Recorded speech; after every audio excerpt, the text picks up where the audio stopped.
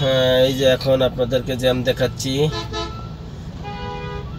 আল্লাহ জানে airport cross করতে আমার কত সময় লাগবে, জানি না।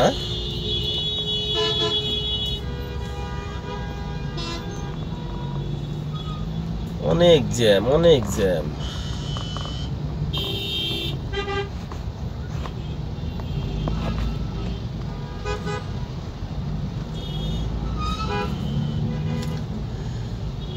সমস্যা এই যে ট্রাক দশটা বাজে ট্রাক ছেড়ে দেয় তো ঢাকা শহরে। এই কারণে সমস্যা। কারণ ট্রাকগুলো অনেক জ্যাম লাগাই দেয়। কারণ ঢাকা শহরে ট্রাক দশটার আগে ঢুকতে পারে না। দশটার আগে যদি ট্রাক ঢোকে, তাহলে পুলিশে মামলা করে। এই কারণে ট্রাকগুলো দশটার পরে ছাড়ে আর দশটার পরে ট্রাকগুলো সব একবারে ঢুকে শহরের ভিতরে। এই কারণে আমাদের একটু ছোট গাড়িগুলোর অনেক সমস্যা গাড়ি চালানোর জন্য।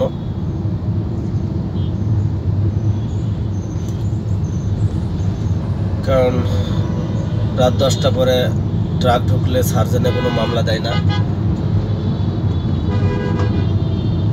আর রাত দশটার পরেই ট্রাক আলাদ হচ্ছে রাস্তার রাজা। এখন আমি এয়ারপোর্ট স্টেশনের আছে রেল স্টেশনের উল্টা পাশে আছি। আমি এখানে একটা রাস্তা বেরিয়ে গেছে রাস্তাটা আপনার হাজি ক্যাম্প। আমাদের হাজিরা যে হজ করতে যায় সৌদি আরবে, এই হাজি ক্যাম্প যাওয়ার রাস্তা। এই যে আলহামদুলিল্লাহ এখন রাস্তাটা জ্যাম একটু কমে গেছে।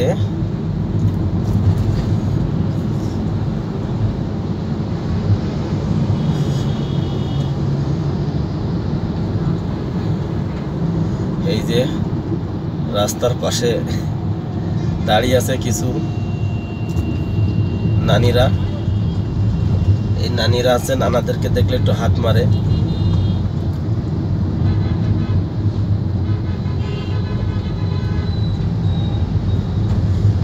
এই এয়ারপোর্টের সামনে নানিদের যন্ত্রণায় হাইটে যাওয়া দুষ্কর পড়ে যায় আর কি। অবশ্য এখন একটু কম। এই বাম পাশে ভিআইপি লেন হইতেছে একটা ফ্লাইওভার হইতেছে। এটা এখন এর রাস্তা সব ইয়াগুলো ভেঙে ফেলছে। এখন রাস্তার পাশে যে জঙ্গল ছিল, জঙ্গলগুলাও নাই। এই কারণে নানিরা ডিস্টার্ব বিষয়টা করতে পারে না।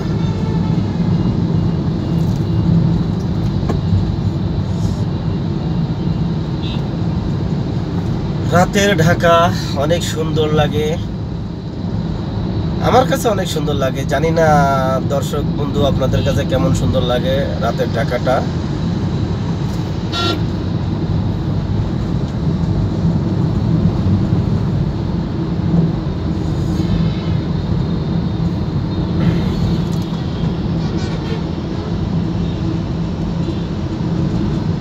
বারে বারে ফিরে আসে কি এমনই যে হা? কৃষ্ণ বালুর মতো নাছিল কি এমনই? না। কি সুন্দর। রাস্তা এখন ফাঁকা। আমাদের এখানে ঢাকা শহরে মাহে রমজান উপলক্ষে সবাই সিয়ারি খেয়ে সরি ইফতারি করে নামাজ পড়ে, তারাবি নামাজ পড়ে, সব রেস্টে চলে যায়। সবাই টায়ার্ড হয়ে যায়, সারাদিন রোজা করে। এই কারণে রাতে আর কেউ বাইর হয় না, তেমন বেশি লোক। এই কারণে রাত্রে রাস্তাটা অনেক ফাঁকা থাকে।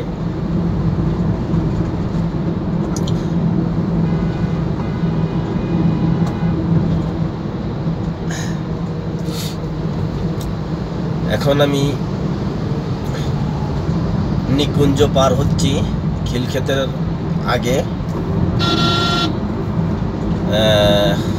গুলশান যাব।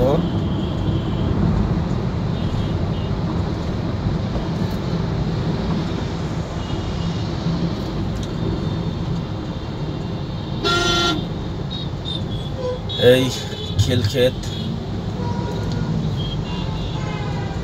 এই বামে একটা ফ্লাইওভার উঠে গেছে।